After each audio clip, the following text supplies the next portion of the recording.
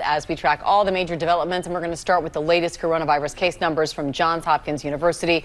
More than 125.5 million diagnosed COVID 19 cases around the globe, with the death toll here in the United States more than 546,000. As the number of Americans now fully vaccinated against the virus is growing as well, the CDC reporting that figure has now surpassed 47.4 4 million Americans. And as we said, Dr. Ashton has the day off. But hey, look at what we got here. ABC News contributor and emergency medicine uh, physician, Dr. Darien Sutton. Dr. Sutton, good to see you, my man, as always. So we've been waiting on data to see how this vaccine is playing out in the real world, how it's helping us out. So what are the numbers telling us about what the vaccine is doing for us?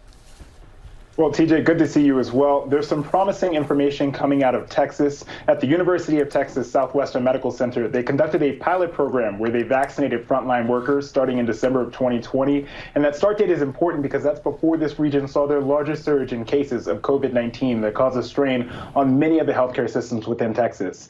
Out of the over 8 1,000 frontline workers who were fully vaccinated, less than 1% tested positive for COVID 19. More specifically, there were only four documented cases. So these results are incredibly promising and reassuring. But of course, we have to be patient, especially since we're seeing across the United States, we're seeing subtle increases in the rates of COVID 19. So we have to remain cautious as we patiently wait for more and more people to get vaccinated. Yeah, cautiously optimistic. We will take that heading into the weekend. Dr. Sutton, thank you very very much. We appreciate it.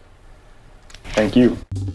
Well, hey there, GMA fans. Robin Roberts here. Thanks for checking out our YouTube channel. Lots of great stuff here. So go on, click the subscribe button right over right over here to get more of awesome videos and content from GMA every day, anytime.